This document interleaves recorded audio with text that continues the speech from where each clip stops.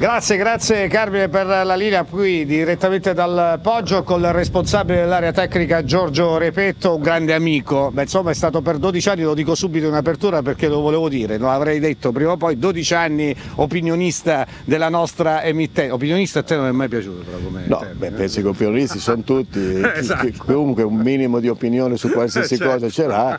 Siamo stati compagni di avventura Ma io e te apposta, e, e a Rete apposta. 8, insomma, quindi 12 anni divertenti e, e devo dire che mi manca pure, eh, ti dico la verità. Chissà che. Vabbè, Vabbè, vedremo, vedremo. Prima vivrà, vedrà.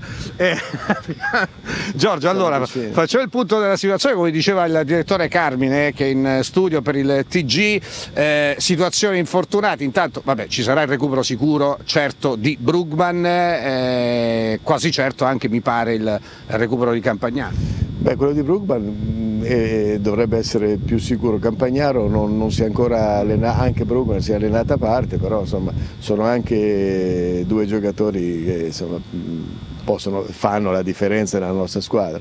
Brugman onestamente ha tirato la carretta per molto tempo con un dolore all'adduttore, ha giocato più partite con delle infiltrazioni, quindi chiaramente l'abbiamo portato proprio al limite credo che queste due settimane, tre settimane di sosta eh, gli possano aver fatto solo bene. Quindi grande professionalità, lo sottolineiamo, da parte del capitano. eh. Beh, di tutti, ma lui quest'anno veramente ha, ha giocato in condizioni proibitive. Giorgio, facciamo invece il punto perché è chiaro che questa è la settimana di sosta, provvidenziale per tanti motivi, recupero delle energie mentali, come ha detto Pillone a fine match col Cosenza, anche perché consente al tecnico questa sosta di recuperare giocatori importanti di cui abbiamo testé eh, parlato. Otto gare all'epilogo della eh, stagione, quattro scontri diretti di cui tre all'Adriatico dove finora il Pescara ha fatto meglio di tutti insieme col Brescia, 30 punti, 9 vittorie e 3 pareggi. Sì, abbiamo avuto un bellissimo rendimento in casa,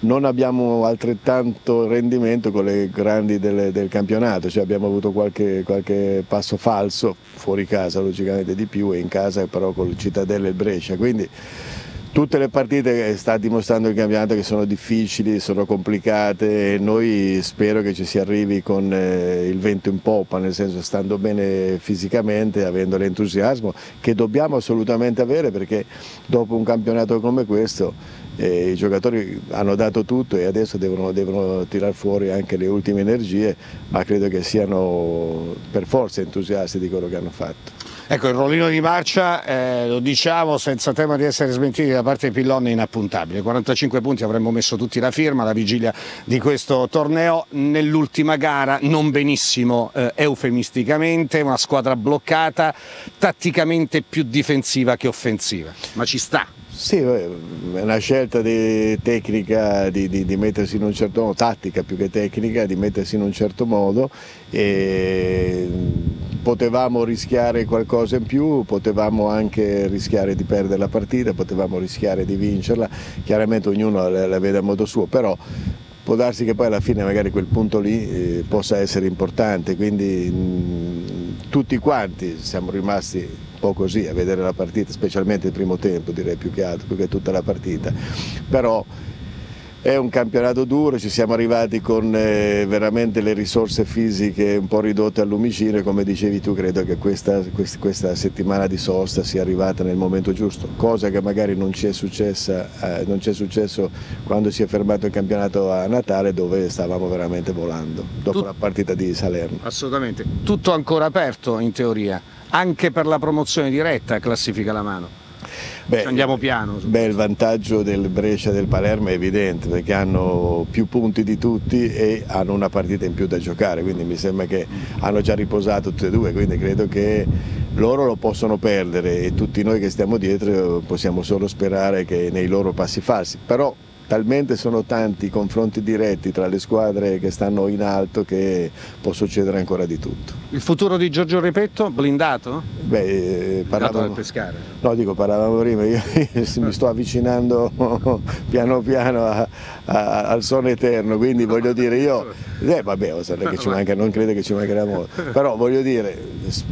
Conta lo spirito. mi Sì, no, ma io mi sento giovanissimo, sì, no, io mi sento giovanissimo, ma eh, ho il contratto, rimango qua, ora chiaramente e bisogna che, penso che sia già tempo questo di, da parte della società di stabilire bene quello che si deve fare per il futuro, cioè nel senso di sapere cosa, come e chi lo deve fare, cioè perché è importante mettere le basi per sapere quali sono i ruoli, per sapere quello che si deve fare e come lo si vuole fare. Ecco, ma questo ruolo piace a Giorgio Repetto, il responsabile dell'area tecnica, perché in realtà insomma è chiaro, è, è, è più una, una, sorta di consulente Giorgio Repetto del Pescara, no? No, discorso di viaggiare. Io qua avevo, come contratto avevo la stessa identica dicitura, direttore dell'area tecnica, però avevo eh, molto spazio sul mercato, dice, direi carta, quasi carta bianca, nel senso di, di muovermi come volevo. Quest'anno mi è stato chiesto qualche consiglio all'inizio, poi per lo poco più tardi, quindi ho, ho, ho, capito che il mio ruolo era quello lì di stare con l'allenatore, con la squadra e via dicendo e, e, farò, e faccio quello. Se mi chiederanno prossimamente di, di, di interessarmi anche un po' delle, della formazione della squadra, di come si vorrà fare, me lo diranno, per adesso non è un problema, ho questo ruolo e mi piace, sto bene con l'allenatore, sto bene con i giocatori, quindi non ho nessun problema. Ti faccio anche una domanda prima di chiudere Giorgio sul settore giovanile, perché comunque la primavera sta facendo un ottimo lavoro con Luciano Zauri in panchina, ci sono anche elementi interessanti, non possiamo dire se di prospettiva perché è ancora presto, però ci sono dei giocatori che potrebbero magari tornare utili anche per la prima squadra. No? Io credo che per la prima volta mi sembra che, che, che ci siano almeno almeno 5-6 elementi che, che, potenzialmente possano giocare a calcio. Parlo della primavera perché poi io certo. gli altri non li ho visti, ma vi dicono che anche nelle categorie inferiori 17, under 17, under 15 ci sia qualcosa di, di, di, di importante.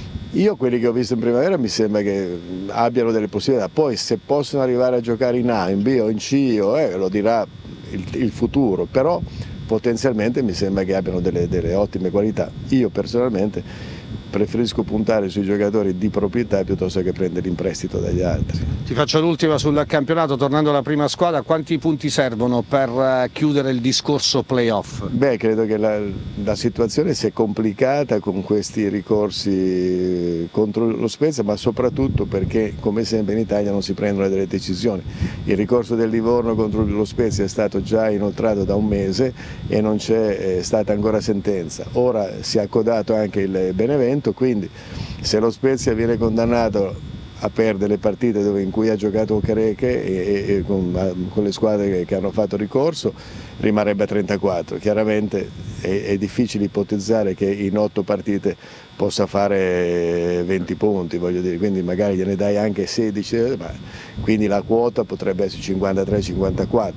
Se invece lo Spezia si ritrova a 40 credo che ci sarà ancora da camminare e ci vorranno 55-56 punti. È vero che in estate, la scorsa estate, Giorgio Repetto aveva bloccato la mantia no, o qualcosa del genere? No, io avevo telefonato a Lentella con cui ho buoni rapporti col direttore sportivo, avevo parlato con il procuratore di Lamantia che mi diceva se viene a Pescara non lo faccio andare neanche in ritiro, insomma è una piazza che gli andrebbe bene, è un procuratore Ferrari, l'avvocato Ferrari con cui abbiamo rapporti buoni, però poi eh, io non, non, ho capito che non avevo quel compito, quindi sono rimasto fuori. Cioè, ma voglio dire, non è che magari arrivando alla Mantia avevamo 60 punti, poi magari ne avevamo 30, questo, eh, perché poi i campionati si giocano nelle squadre di appartenenza, è difficile fare un, un paragone di quello, cioè non possiamo prendere per buoni i gol che ha fatto lui, perché magari veniva qui e non ne faceva neanche uno.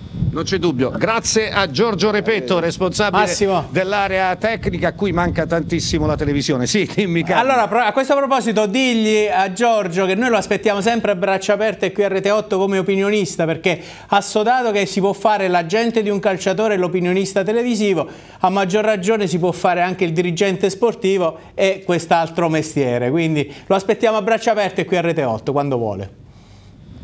Eh, gi giustamente il direttore dice che ti aspettiamo a braccia aperte in televisione perché eh, non ci sarebbe nessun conflitto, alcun conflitto di interesse. Ah, anche, potrei... anche, anche, da rispondere, eh, beh, ci sono tanti pe casi. Penso che saranno, no, no se, i casi li ho visti ed è meglio che ognuno stia a posto suo.